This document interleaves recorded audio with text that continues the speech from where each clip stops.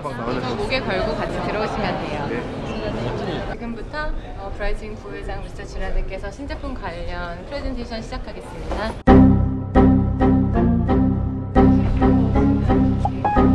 This is uh, the first Breitling connected watch.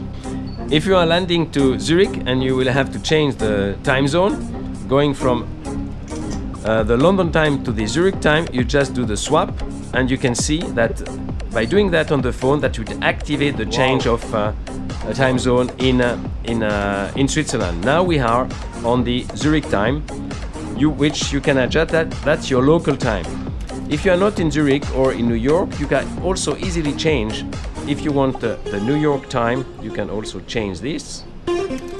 If that's your new local time, you synchronized, and Oh. then it moves, and you are in. Now you are in New York.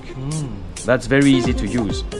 You can set all the different parameters of the watch, the alarm, very easy to to use the, this function Monday, Tuesday, Wednesday, what at what time you want to sleep. So very very easy to parameter the watch. If you do some uh, measurement in your chronograph, like uh, the lap timer, you go in the function lap timer. First you delete all what you did before, and then you can start the chronograph function using the watch. Now it runs, and you are recording different laps. First lap, second lap, third lap. And then that will download this measurement to your watch. So you have one lap, two lap, three lap. The best one was the second lap, which was 4 seconds and three uh, of seconds. You can see on the bar chart what were the timing, and you can also send that by email. Uh, all these, I will just do that. 1915, 100 years ago, Breitling invented the independent pushers at 2 o'clock. 1952, we came out with the slide rule for pilots. 95, we came with the Breitling emergency, sending signal to satellites. It was not yet connected, but still, Breitling already sent signal to satellites with the emergency watch. And we have been able to find more than 20 people with that watch.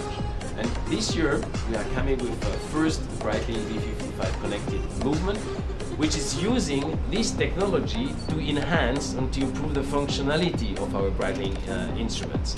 We don't want to have with that watch uh, something which is a lower, less efficient new control tower of your smartphone.